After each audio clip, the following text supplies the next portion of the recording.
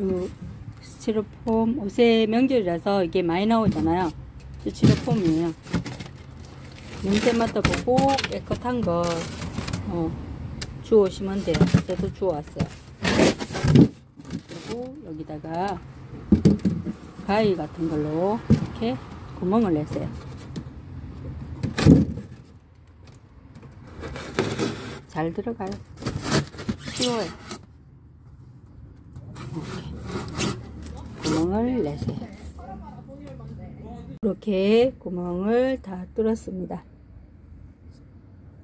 저는 이제 화분 죽으면 다 모아놔요. 흙들을 흙들을 모아놨다가 이런데 근데 저는 되게 스티로폼이 여기도 들게 스티로폼에다가 했죠.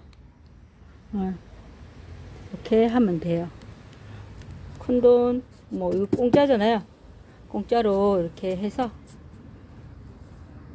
네, 바턱을 넣고, 그 다음에, 네, 살충제, 얘를 넣어주세요. 벌레가 많이 생기잖아요. 그 살충제를 이렇게, 이렇게 뿌려요. 고루고루. 이렇게, 넣어낸 다음에, 이렇게 흔들어주세요. 그리고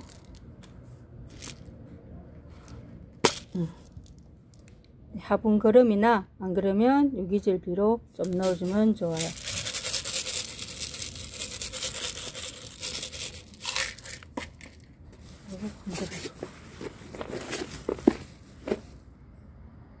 바턱을 위에 덮어줍니다. 삽수 꽂기 전에 물을 줍니다. 물은 아무래도 이 흙들이 이제 어, 다 마른 흙들이라서 이렇게 주면 애들이 축축해서 좋습니다.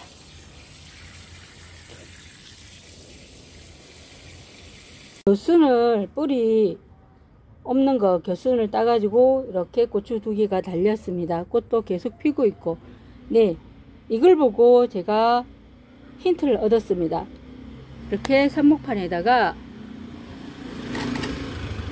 어제 제가 저희 농장에서 가져온 음, 이 고추를 다 심을 겁니다.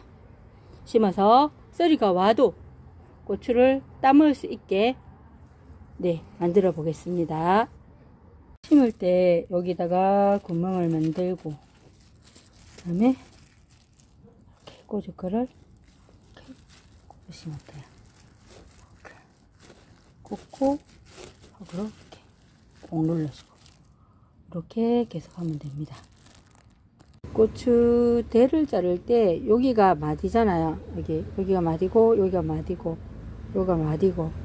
그러면 마디가 흙 안에 들어가게 해주면 뿌리가 여기서 빨리 나오겠죠. 예, 생장 그 다른 것도 그렇게 하듯이 똑같이 고추도 이렇게 요 부분이 묻히게 꽂아주세요. 자를 때도 어.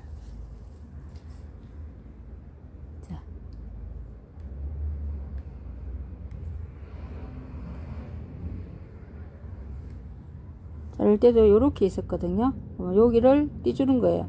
여기 여기가 올라간 시작점이잖아요. 이렇게 해서 딱 띄주는 거예요. 그러면 자 이거를 어디 띄주냐? 여기 요 부분 여기서 올라가잖아요. 여기를 딱 띄주는 거예요.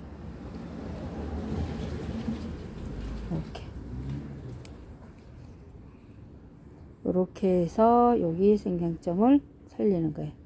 이런 건 다 띄주고 띄주고 이파리 큰 것도 띄주고 네 하시면 돼요.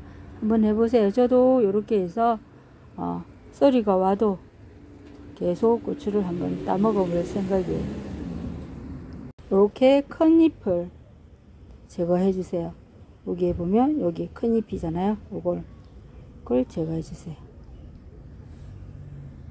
이렇게 꽂잖아요. 그럼 요 부분이 흙에 이렇게 딱 들어가는 게 빨리 뿌리가 나와요. 이렇게 이해하셨죠? 이렇게 다 꽂았어요. 이렇게 꽂고 물을 흠뻑 주셔야 돼요. 자, 물을 이렇게 흠뻑 주세요. 어, 지금 상태에서는 하루에 두 번, 그리고 어느 정도 얘들이 크, 자리 잡았다. 그 느낌이 와요. 싱싱한 게. 다르거든요. 그러면 하루에 한 번만 주시면 돼요. 지금은 어, 아침 저녁으로 두 번. 지금 최대한 물을 흠뻑 해서 물이 이렇게 물을 듬뿍 많이 줬죠. 그리고 이거를 방그늘에 놔두는데 오후에 햇빛이 드는 곳에 두시면 됩니다. 여기처럼 이렇게 싱싱해지면 하루에 한 번만 물 줍니다. 티가 나죠? 뭔가 모르게. 근데 요거는 꽂은 지 며칠 안 됐습니다. 그러면 이거는 아침 저녁으로 두 번. 여기 옆에도 아침 저녁으로 두 번.